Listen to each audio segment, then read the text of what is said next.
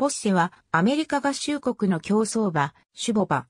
主な勝ち鞍に2003年のリバリッジブリーダーズカップステークス、ラファイエットステークス、2002年のケンタッキーブリーダーズカップステークス。シェリフズスターの父である1977年生まれの同名馬とは別の馬。2002年4月10日、キーンランド競馬場でのメイドン競走でデビューし、1着。リステッド競走3着を挟み、ケンタッキーブリーダーズカップステークスで、デルディアブロを3馬身半差下して、重賞初制覇。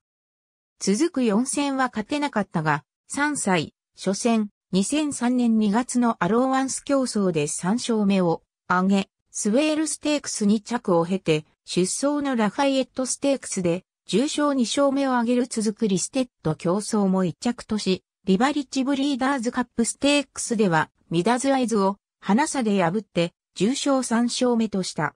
この後、3歳いっぱいでの引退と、翌2004年からの種ボバ入りが報じられる。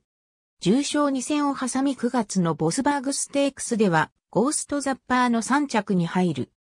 その後は参戦して、ブラックタイプ競争で1勝を挙げ、12月のマリブステークス7着が最後の競馬となった。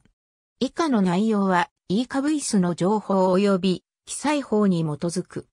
引退後は予定通りに種ボバとなって2004年よりケンタッキー州のバイナリーステーブルで種ボバ入りし、2010年にニューヨーク州に移動。2015年にはウルグアイ向けのシャトルシュボバとしても供用された。ジャビスサーチが 1P ネトキバが 12C。ありがとうございます。